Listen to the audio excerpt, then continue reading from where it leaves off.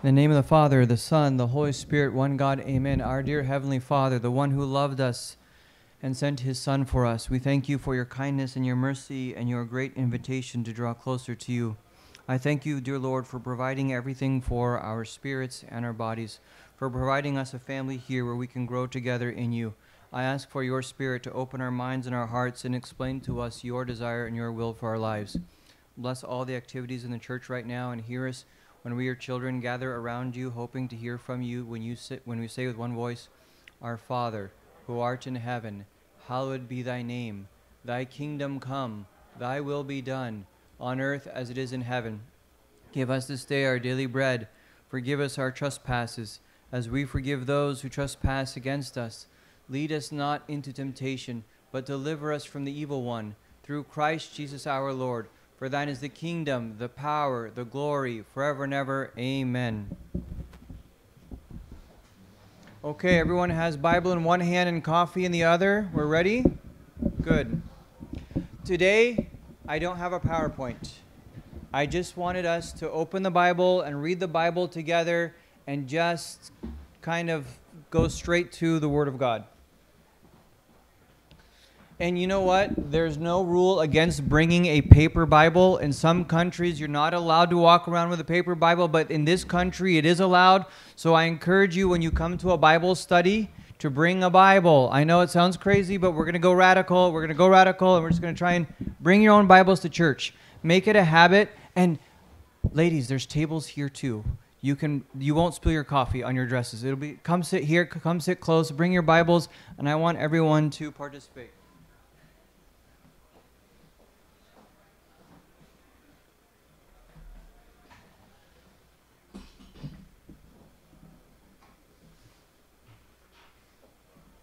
I know it's been a while since we've had a meeting. At the end of the year, uh, Peter gave a talk. Do you guys remember what the talk was about? I know you do, but you just don't want to say it. So, it's the tree that didn't bear fruit for three years.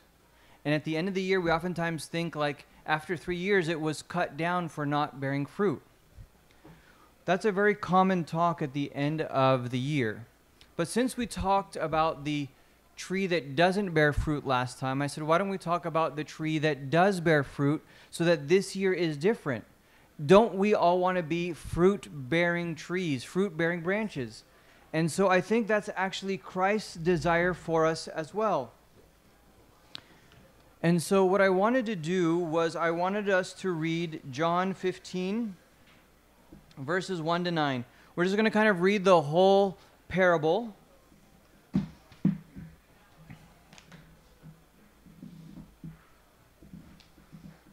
and then we'll go through it. But do you guys know the setting of this parable? John 15, this is his discourse with the disciples on the night of his crucifixion. So, John, John 14, 15, 16 are kind of his last teachings. Some of his last teachings he gives to the disciple on that night, and it's amazing that one big chunk is this passage.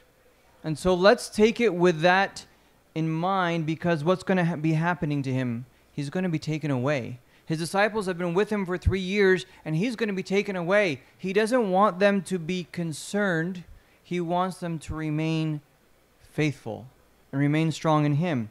So let's read in the name of the Father, Son, Holy Spirit, one God. Amen. I am the true vine, my Father is the vine dresser. Every branch in me that does not bear fruit, he takes away and every branch that bears fruit he prunes, that it may bear more fruit. You are already clean because of the word which I have spoken to you. Abide in me, and I in you. As the branch cannot bear fruit of itself unless it abides in the vine, neither can you unless you abide in me. I am the vine, you are the branches. He who abides in me and I in him bears much fruit, for without me you can do nothing. If anyone does not abide in me, he is cast out as a branch and is withered, and they gather them and they throw them into the fire and they are burned. If you abide in me, and my words abide in you, you will ask what you desire, and it shall be done for you. By this my Father is glorified, that you bear much fruit, so you will be my disciples. And as the Father loved me, I have also loved you. Abide in my love. If you keep my commandments, you will abide in my love, just as I have kept my Father's commandments and abide in his love. These things I have spoken to you, that my joy may remain in you, and that your joy may be full. I think there's a very deep spiritual mystery in here, and I think it should be almost the source of uh, our pursuit, our spiritual pursuit. That if we can figure out this mystery, our lives could be totally changed. And so, on the night of his passion, he's giving us a visual example so that we could remember. There's three main characters in this passage. There is the vine, which is who? Who's the vine in this passage? Jesus Christ is the vine. There are the branches, and who are the branches? We. Who's the third character? The Father. What does the Father do? He's the vine dresser. So we're going to discuss those three, but I want you to think about of all the things Christ said, Christ invited us to different things. He said, Come to me, all you who are heavy laden and burdened, and I will give you rest. That's a great invitation. But this invitation might be the greatest. He says, Abide in me, and I will abide in you. This is an awesome invitation, but it's conditional. He says, I will dwell in you. I have no doubt of his ability to dwell in us, to abide in us. But sometimes I wonder if he's concerned about our desire to dwell in him. Are we abiding in him? So he says, even though I'm going to be taken away, don't give up. The word abide has several meanings. You know, you know what we call the place that you live in? We call it your abode. That's your abode. What are you doing in where you abode? You abide. you abide in your abode, right? And so to get an idea, that's where you dwell, that's where you live, and that's where you remain. So the word abide has those three meanings to abide, to dwell, to remain. So Christ is saying, if you remain in me, if you live in me, I will live in you. At that time, there was no concept of God living inside of anyone. God was always far away. And then when Jesus Christ came, he was God among us. But then he says, Now I'm going to be inside of you. For them, that was, I think, a difficult thing for them to understand until Pentecost. But you understand it now. And does it mean anything to you that Christ is saying, I want to remain in you? I want to live in you. You are my home. Does that have any value to you as a Christian? Because it brings with it tremendous unity, tremendous blessing, fruitfulness as opposed to the unfruitfulness that we talked about at the end of the year. And it involves this God's life working in you. And I think the reason why we are unfruitful is because this lack of abiding and of Him working in us. So, of the three characters, what does a vine do? it grows. But what does it do for this this whole tree? What does the vine do? Actually, the vine doesn't bear the fruit. What bears the fruit? The branches. The vine doesn't. So the vine needs the branches to bear the fruit. The branches need the vine. What does the vine do for the branch? Yes, it's rooted in the ground. It perform it forms a great foundation, but also it grabs the nutrients. Everything that the branch needs comes through the vine. I want us to understand that part that the fruitfulness of the branch depends on the connection to the vine. What does the vine dresser do? We're going to get into that. So, yeah, he, he's in charge of the vine dresser, is the one who actually plants the vine. Why does he plant the vine? to bear fruit. So the vine dresser, his whole purpose of the vine and the branches, this whole endeavor is to produce fruit. And what is the purpose of the branch? We'll get into that. So in the verse verse he says, "I am the true vine." Why does he have to say true?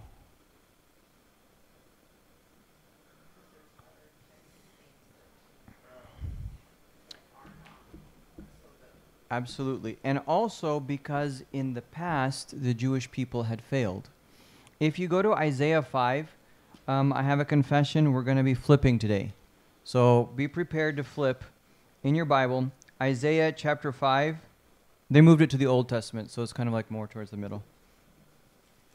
Okay, Isaiah chapter 5, he talks about a vine. And he says, sorry. So in chapter 5, verse uh, 7. No, sorry, verse 5. He says this. Sorry, verse 4. What more could have been done to my vineyard that I have not done in it? So Isaiah 5 4. What more could have been done to my vineyard that I have not done in it? Meaning the vine dresser. Okay? I did everything. Why then, when I expected it to bring forth good grapes, did it bring forth wild grapes? And now, please let me tell you what I will do to my vineyard. I will take away its hedge, and it shall be burned, and break down its wall, and it shall be trampled down.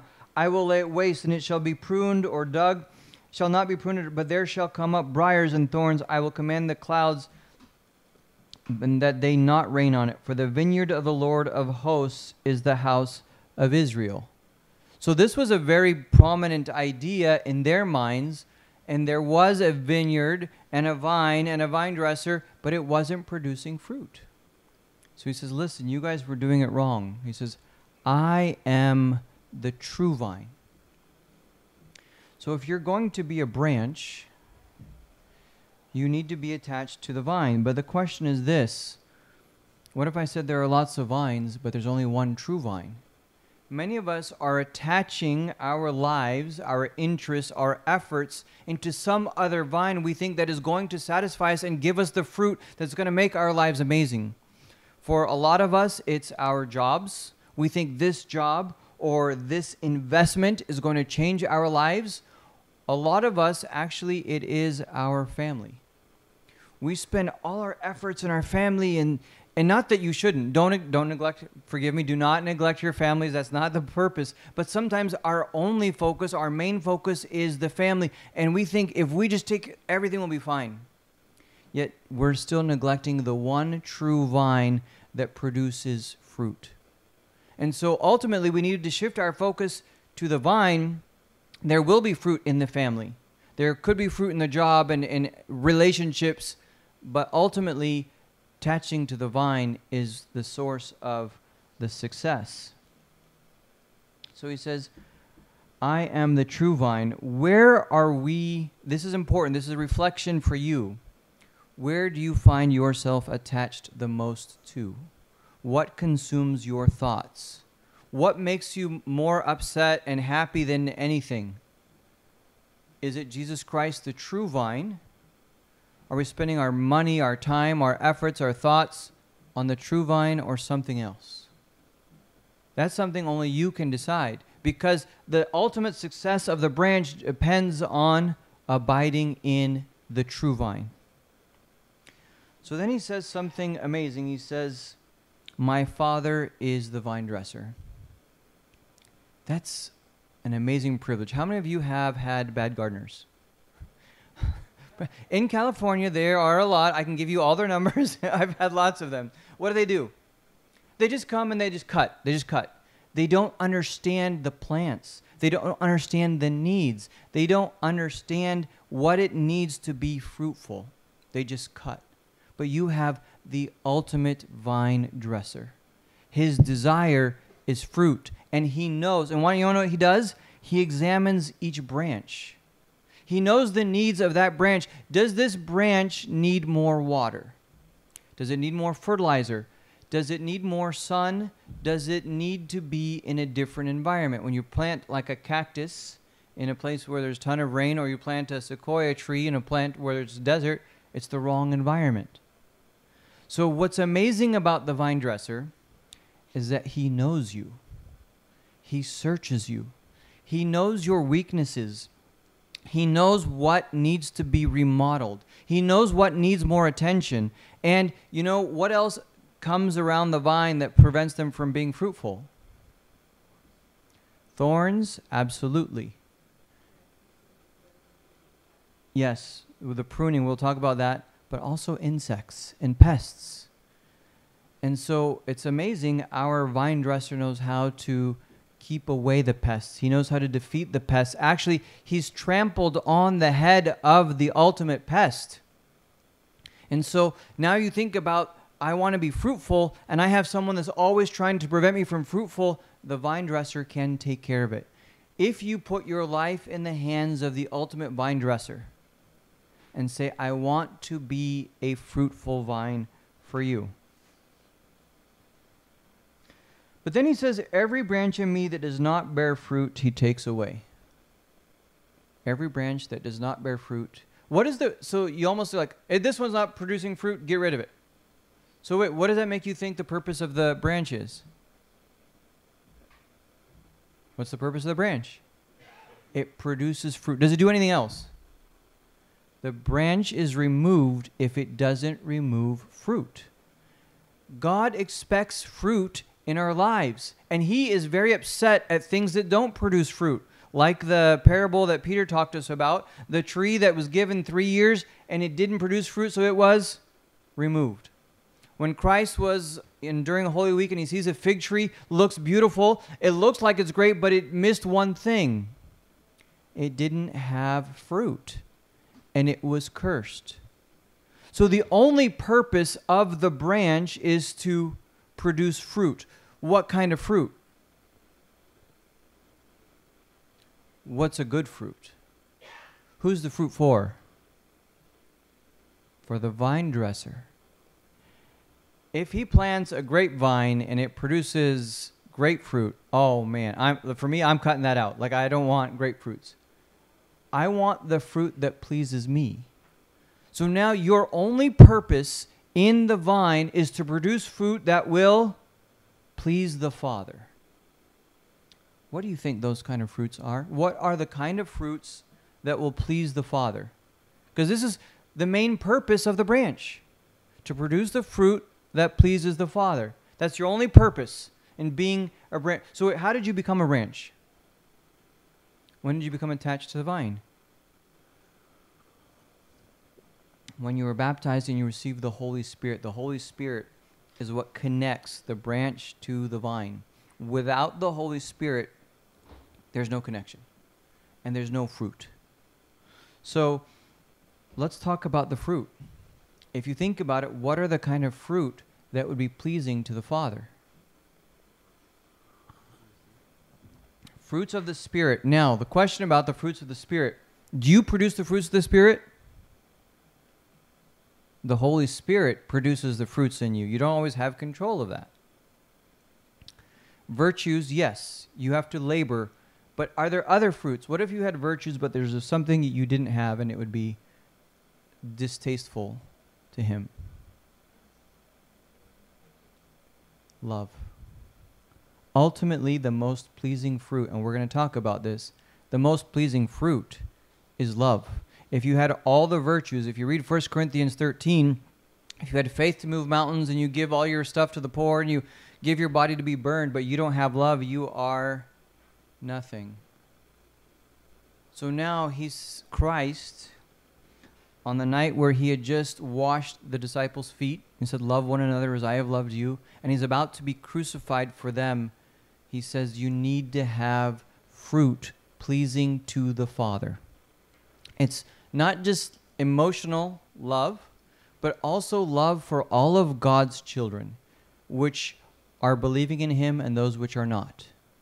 Everyone on the planet, God desires that how many people should be lost? Not one. God desires that not a single one should be lost, but that everyone should turn and repent and be saved that would be the most pleasing fruit. For those of you who have multiple children, some of you have like villages, but like the multiple children, if let's say you've got three and one of them goes far away, And the other two, like, well, mom and dad, you know, we're still here. Like, I'm, I'm sorry, I'm, I'm not content until you go bring me the other one. And I will, I'm, I love you, but and if one of them is lost, it breaks your heart, right? It's the same with God. So this is a fruit he desires that we should bring everyone to him to build his kingdom. This is the fruit that pleases him. So what is the consequence? Actually, before I get to the consequence, he takes it away and every branch that bears fruit he prunes. Pruning. There's another word for pruning cleanses. Every branch that bears fruit he prunes. Wait a minute. Every branch that bears fruit, not the ones that don't bear fruit, every branch that bears fruit he prunes. So those are good branches, right? Why do you have to prune it?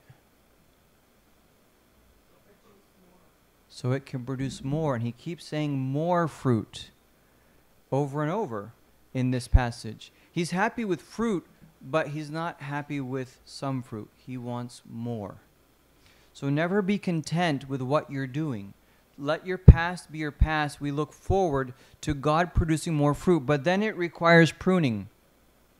What do they use for pruning?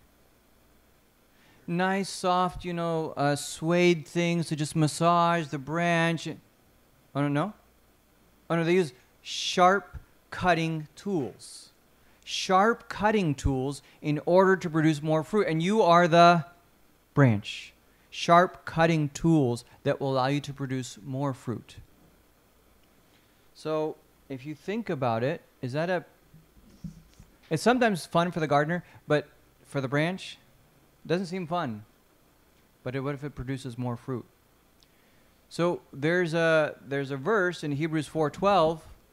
It's there's a very sharp cutting tool. Hebrews 4:12. I want you to look up Hebrews 4:12.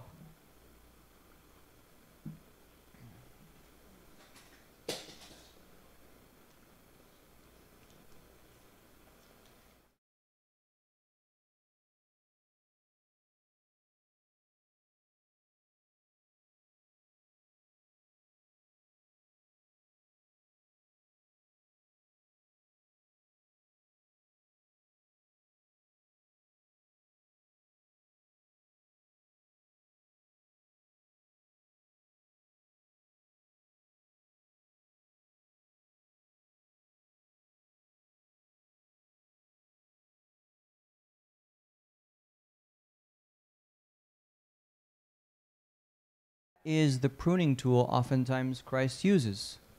You say, well, the Bible isn't doing that for me. I don't feel like it's cleansing me. I don't feel like I'm being pruned. I have to be honest, just by owning the pruning tool, it doesn't work. Like if the gardener has the, the big scissors, that doesn't mean everything is pruned. Okay? What has to happen? It has to penetrate through the vine.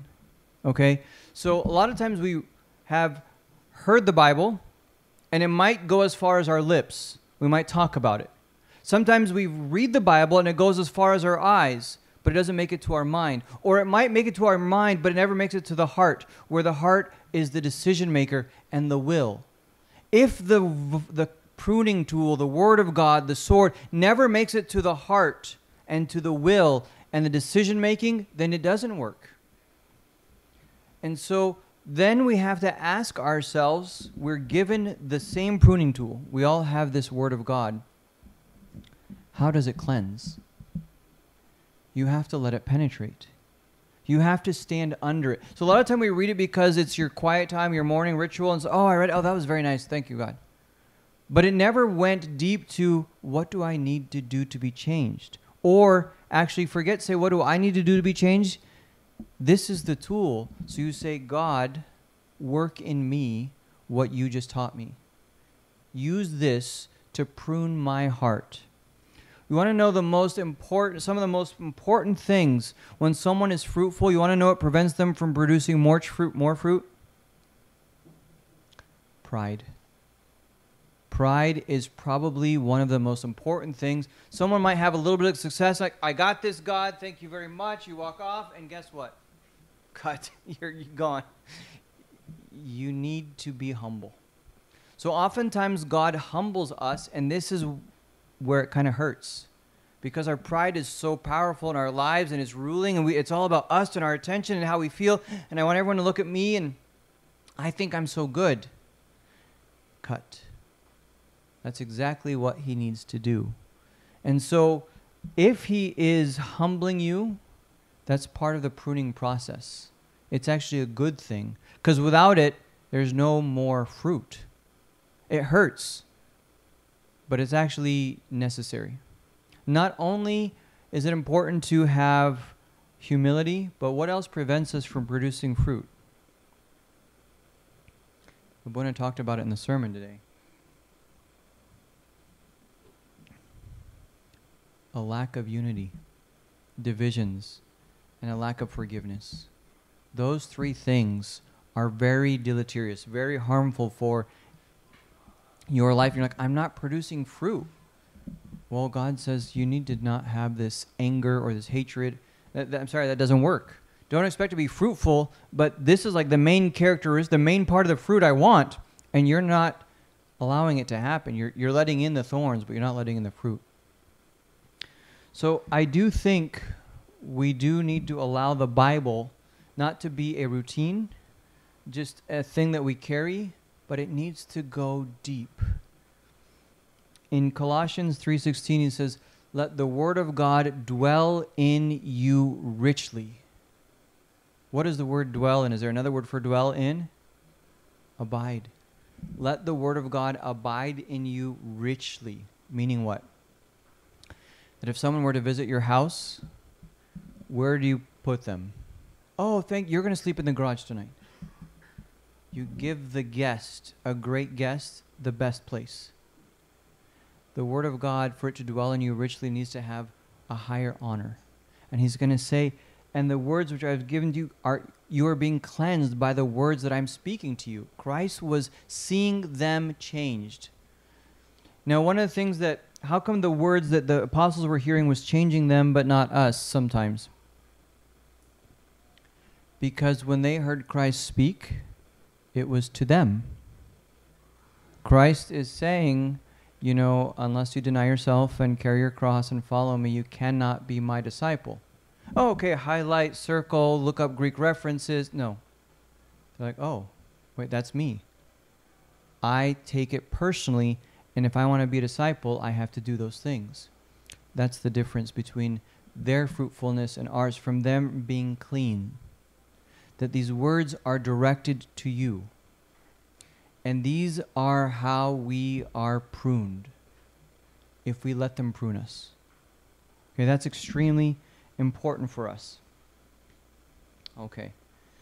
Now, he says in verse 4 Abide in me, and I in you.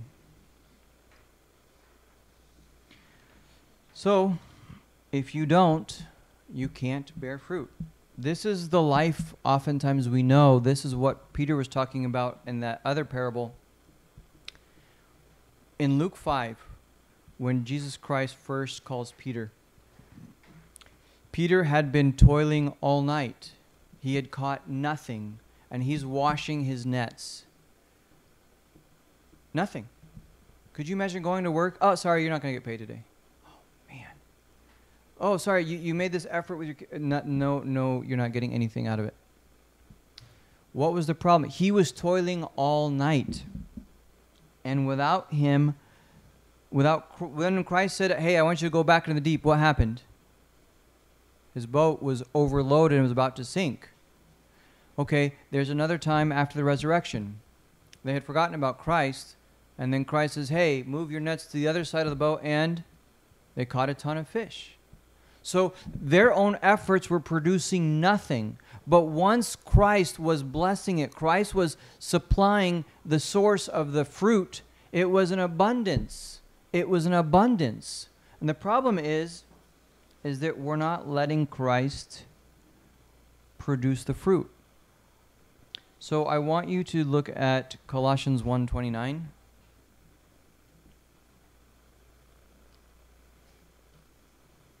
Small little four chapter book. Ephesians, Philippians, Thessalonians, Colossians. Okay. At the end of chapter 1, he says this verse, which blows me away.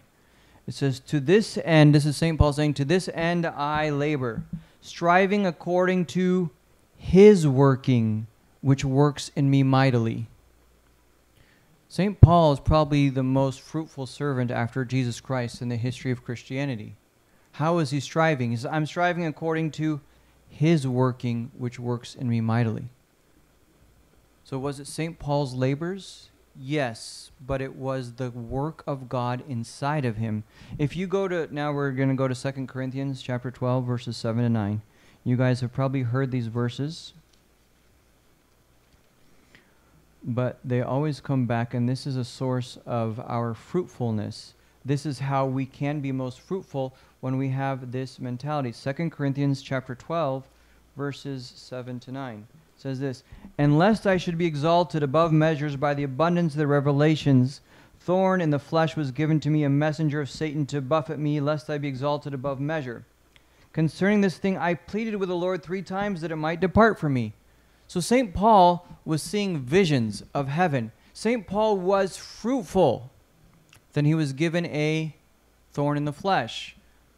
In our passage, we could say that was part of the pruning. That was part of the cleansing process. Because then he says this, and he said to me, My grace is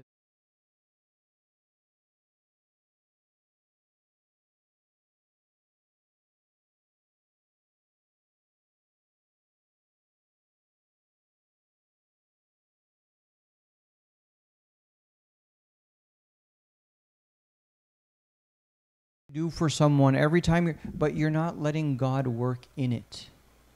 Ultimately, we make our own efforts and you might see little fruits. You want to see amazing fruit? You need to say, God, work in me.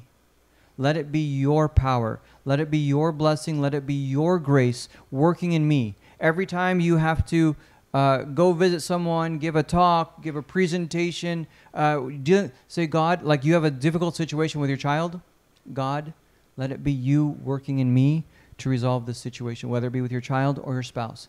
Dear God, you resolve this. And then you will see that He is now working within you. And just like St. Paul says, he, I labor with His working effectively in me, His working effectively in me. And so I'm not saying don't try. Your labors are necessary, but God's are the ones that produce the fruit. So, how often are we relying on God to solve our issues, to bless everything in our lives? We're oftentimes saying, Well, I'm going to do this new discipline plan. I have a new uh, self help book, audiobook I'm going to listen to, and I'm going to go to the gym. That never works. We know that. Diet, um, it might help too. But we do all these things on our own. And the last person we're including is God to produce the fruit. So he says, Abide in me and I in you. The branch cannot bear fruit of itself unless it abides in the vine, neither can you unless you abide in me. So, how do we do the abiding? That's the whole crux of the situation. If you figure out the abiding, he will abide in you, and then you'll be fruitful. So, how do we do the abiding? Well, I got to be honest. Um, Gospel of John uses it about 15 times. Uh, First Epistle of John uses it about 15 times that word abide. There are lots of ways, but let's just look in this chapter 15:7. He says, "If you abide in me and my words abide in you, you will ask that what you desire and it shall be done for you. If my words are abiding in you." What is the reward of his words abiding in you? And what you ask, you will ask what you desire. The difference is you're like, I pray for things all the time our hearts are not always aligned with Him. His words are not always correcting us and guiding us so that our hearts are like His. So when you're requesting things from God, you're requesting the things that God desires as well. Then no wonder He gives it to those people because the words are the one that are inspiring their prayers. So part of it is the Word of God. That's a very critical part. But in verse 9, as the Father loved me, I have loved you. As the Father loved the Son, I loved you and I want you to remain in this love. Holy cow. Is that a hard thing to remain in the love of God? Is it so hard to remain in God's love, for His love to dwell in you? I want you to go to Ephesians 3. I think it's verse 18. I love this verse. Yeah. Ephesians 3, verses I'll do 17 to 19. He says that Christ may dwell in your hearts. Instead of dwell in, what can we say? That Christ may abide in your hearts through faith. That you being rooted and grounded in love, rooted and grounded, that sounds almost like vines and branches. Rooted and grounded in love. And that you would be able to comprehend with all the saints what is the width and length and depth and height to know the love of Christ which passes all understanding which passes all knowledge. It's the greatest kind of love you will ever know or could ever imagine. He says, I want you to remain in that love. Anyone not want to remain in that love? If you dive deep into it, I want you to really study. God demonstrated his love for us in Romans 5 8, that while we were sinners, he died for us. Oh my gosh. Like if you just go and look at the for God so loved the world that he gave his only begotten Son. His love is unbelievable. It's unbelievable. And if you start to study his love, it will not be hard for you to remain in his love. And sooner or later, I got to be honest, it's probably going to grow outside of you. It's going to come out of every pore of your body. You're going to be speaking, breathing, teaching love. So, he says, Remain in my love, and I will abide in you. So it's through his word and through love. Also in John 14, 6, this one you just got to turn one page or scroll to the left. All right? Jesus said, I am the way, the truth, and the life. Wait, hold on. That's not it. 14. Huh? No, no, that's not the one I wanted. Uh, there's one about. Um, about obeying the word of God. He says in verse 22, sorry, in verse 23, John 14, he says, Jesus answered and said, If anyone loves me, he will keep my word, and my Father will love him, and we will come to him and make our home with him. He who keeps my word. If you're not going to obey the commandments, but if you do, he and the Father will dwell in you again, I think maybe Peter and I may, might even start uh, a series on abiding. The idea of abiding is incredible, and the fruits of it are wonderful. But then he says this a branch that does not bear fruit, if anyone does not abide in me, he is cast out as a branch and is withered, and they gather them and throw them into the fire. So, what happens to the branch that's not producing fruit? The one that's producing fruit, he's pruning. The one that's not producing fruit, they cast it out. Well, what happens when the branch is removed from the vine? It withers, it dries up. Many of us have seen and have experienced and are personally living right now in the withered up stage. We feel dried up. We don't feel the vitality, the life of Christ flowing through us and we're saying, Dear God, I want that. I remember when I was in college, you know, when in college you think you're very philosophical, right? I was just sitting, uh, looking at a, reading a book, and I looked at a tree, tree in front of me, and there was there was a recent storm, so all these leaves were on the floor, except for one. One leaf held on to one branch. As long as that leaf held on to the branch, guess what? It was going to live. It was going to receive from the branch, it was going to receive from the trunk, it was going to receive life. The moment it gets even partially cut, it's not much further to cut the rest. But the fact that it remained, it was abiding, it was dwelling and holding on to the branch. My question is do we have the fight in us? Do we have such a desire that I want to remain in the Word of God? I want to remain in His love. I want to remain in Him. I don't want ever to be cast out, taken away as an unfruitful branch. I'm tired of the withered up life. Some of us have been living the withered up life for years. I have a secret. our vine dresser is able to graft you back in again. He does that. If you read about it in Romans, he talks about grafting into the original tree. God can take the withered branch, put it back in the tree, and give it life. You're not lost in this situation. He can restore you. But you have to desire to abide. The Word of God, the love of God, and the Spirit of God working in you. In the Orthodox Church, we believe you can do nothing good for God without the Holy Spirit. In 1 Corinthians 12:3 it says anyone who has the spirit of God does not call Jesus Christ a curse and you cannot say Jesus Christ is Lord without the Holy Spirit. That's the most basic thing to say Jesus Christ is Lord for a Christian says without the Holy Spirit you wouldn't do that.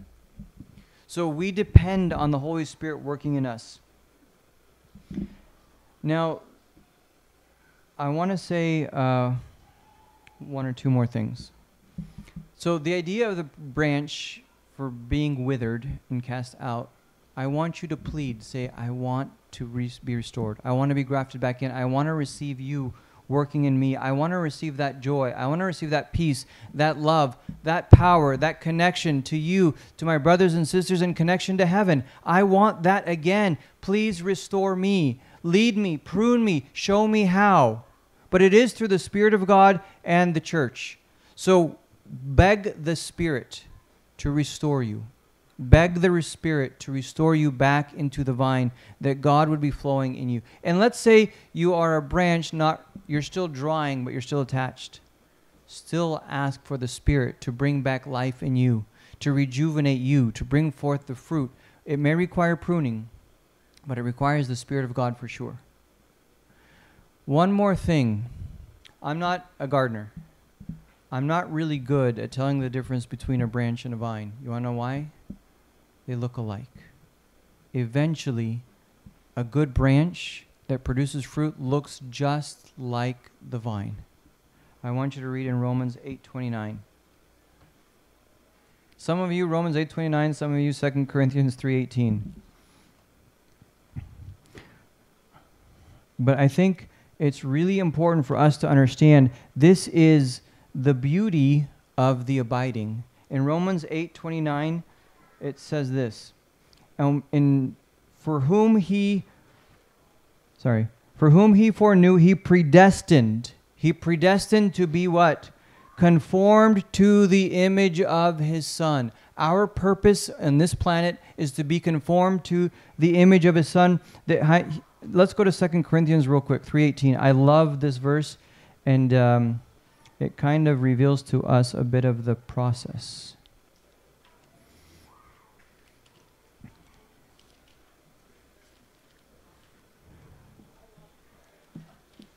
Okay.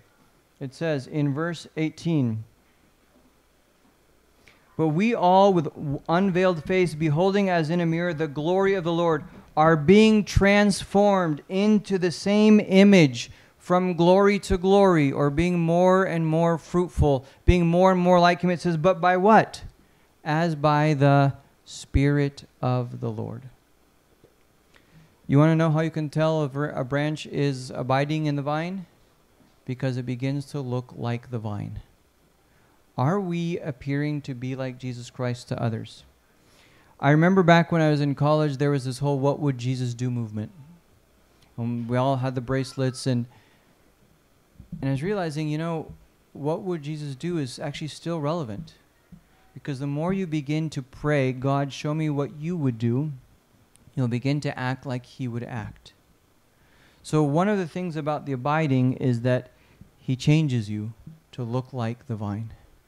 How amazing would this church be? You know, and in the dome of churches, it says, I'm looking down on the vineyard which my hand has planted.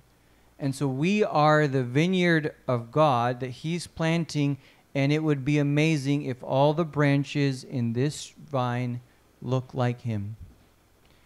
Let's focus on the Word of God, the love of God, and the Spirit of God flowing in us. I want, forget what I want. He wants us to be fruitful. May God reward you, and I pray that this word will penetrate. And I always want you to bring your Bibles. Okay? Let's stand and pray.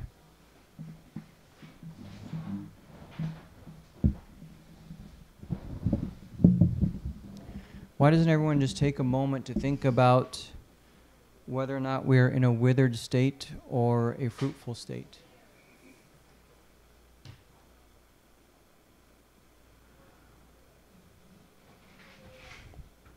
I also want everyone to take a moment to think about which vine do you find yourself planted in? Are you planted in the true vine? Or are there other false vines not producing fruits in your life? Maybe we need to be removed from those vines and planted in the true vine.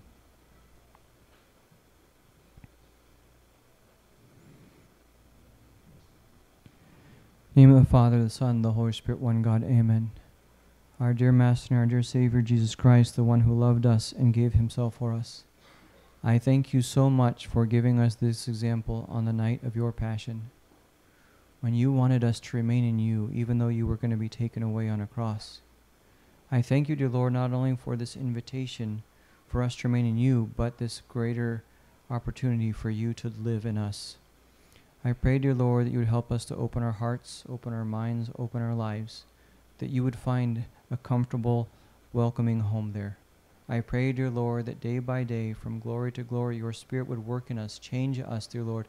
Help us. We're tired of being withered and dried. We want to be fruitful. We want to be a fruitful vine, honoring you, glorifying you. That the purpose of our lives would be mainly just to focus on honoring and glorifying you. And you said that you told us these words that our joy would be full. Help us, O Lord, to receive this joy that comes directly and only from you. I ask for your grace upon this group standing here. I pray, dear Lord, that you would work a mighty work in our hearts and in our minds. Lead us unto you and unite us to you and to each other by your Spirit. In Jesus' mighty name we pray, through intercession of our beloved Saint Mary and all your saints who are part of the vine and have been fruitful. Hear us when we say with one voice, Our Father, who art in heaven, hallowed be thy name. Thy kingdom come Thy will be done, on earth as it is in heaven. Give us this day our daily bread. Forgive us our trespasses, as we forgive those who trespass against us. Lead us not into temptation, but deliver us from the evil one. Through Christ Jesus our Lord. For thine is the kingdom, the power, the glory, forever and ever. Amen.